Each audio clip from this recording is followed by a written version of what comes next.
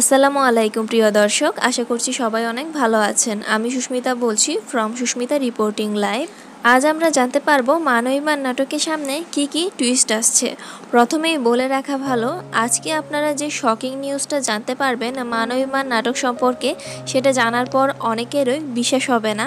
সেজন্য অবশ্যই পুরো ভিডিওটি দেখবেন, তাহলেই বুঝতে পারবেন। মানবিমানের যাত্রা শুরুটা যেমনটা হয়েছিল, বর্তমানে কিন্তু মোটেও তেমনটা নেই। আমরা প্রতিটা পর্বতেই নতুন করে কিছুটা চমক পাচ্ছি।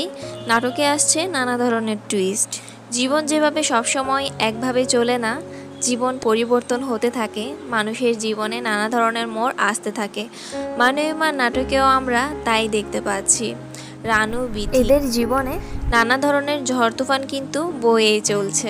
নানা বাধা বিপত্তির পর বিথি তার বোন রানুকে মিলাতে সক্ষম হয়েছিল রাহাতের সাথে। খুব ভালোভাবেই তারা সংসারও চালাচ্ছিল। কিন্তু হঠাৎ করে ফারিয়া তাদের মাঝে আবারও ঝগড়া বাঁধিয়ে দিচ্ছে। আপনারা নিশ্চয়ই সম্প্রীতি পর্বগুলোতে দেখেছেন, কিন্তু সামনে কি হবে, এবার সেটাই বলব। এখন আপনাদের এমন একটা নিউজ দিব, যেটা শুনলে আপনারা সত্যিই বিশ্বাস করবেন না। কিন্তু যখন আপনারা পর্বগুলোতে দেখতে পারবেন, তখনই আপনাদের বিশ্বাস হবে।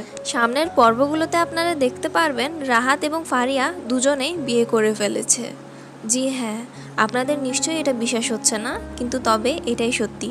ফারিয়া এবং রাহাতের বিয়ে হবে। তবে এখন আপনারা এটাই চিন্তা করছেন তাহলে রানুর কি হবে? রানু রাহাতকে ফারিয়ার কাছে রেখেই চলে যাবে ঘর ছেড়ে। যখন সে সত্যিটা জানতে পারবে, অন্যান্য নারীদের মতো সেও সেটা সহ্য করতে পারবে না। রানু তো ঘর ছেড়ে চলে যাবে, তবে এখন দেখা যাবে বিধি তার বোনের জন্য আর কি কি করে।